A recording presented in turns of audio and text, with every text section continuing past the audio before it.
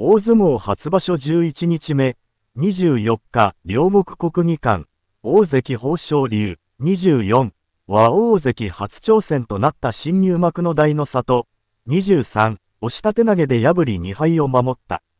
大の里は三役初挑戦だった10日目の関脇琴ノ若、26、戦に続き連敗で3敗に交代。大関昇進を狙う琴ノ若は王鵬、23、を押し出し、1敗で単独首位を堅持した。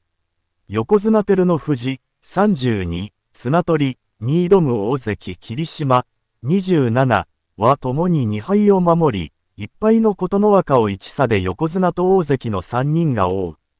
失態は許されない、古剣、古剣に関わる、看板力士、大関の大関たるゆえん、自覚をにじませた宝生龍が新入幕の台の里を投げ飛ばし、2敗を堅持した。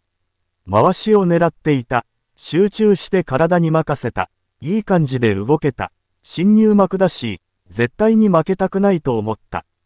立ち会ってすぐ左上手を取り、右も刺した。183キロの巨体を寄せてきた相手の力を利用し、右に体をひねりながら下手投げ。大関初挑戦の大器を土俵へ叩きつけた。